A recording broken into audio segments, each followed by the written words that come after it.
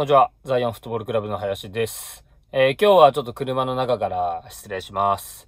えー、昨日ですね、えー、緊急事態宣言が解除されまして、え我々のスクールも、え6月1日から、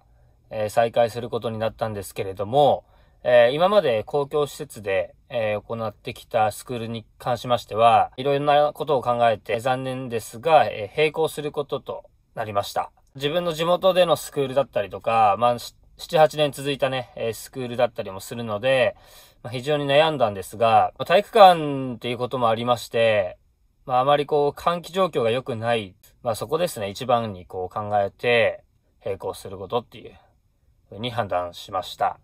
はい。まあ、それに伴って、あの、スクール生の皆さんにはね、あのー、たくさんご迷惑かけてしまって、どうもすいませんでした。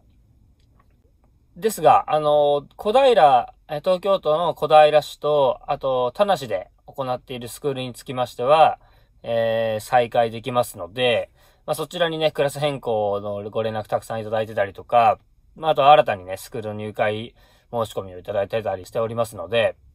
まあ、ぜひ、あの、皆さんとね、また6月からボールを蹴れることを楽しみにしています。はい。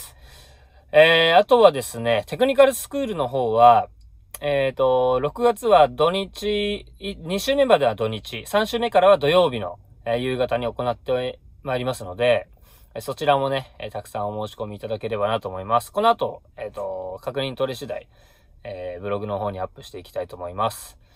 あとですね、えパーソナルトレーニングの方は、まあ、今、平日の朝は、あの、おかげさまで、えありがたいことに全部埋まっておりますので、えこちらも土曜日の日中の時間帯で、まあ、3組から4組限定で、え、開催させていただきたいと思いますので、ご希望の方はクラブまでご連絡ください。はい。えー、以上になります。まあ、今週はオンラインで保護者会をやらせていただいたり、まあ、またその保護者会で僕がお話ししたことを、えー、ブログで全文を載せさせていただいたり、えー、またそれに伴ってね、あのー、まあ、その後にこういうご連絡くださいとか、ちょっと保護者の皆様にはね、本当にこう、いろいろご対応いただきまして、どうもありがとうございました。はい。えー、ということで、まあ、6月からね、えー、へまあ、閉めてしまうスクールと再開するスクールとちょっと整理をしましたので、えー、その点、えー、ブログから、あの、ご確認いただければなと思います。以上になります。どうもありがとうございました。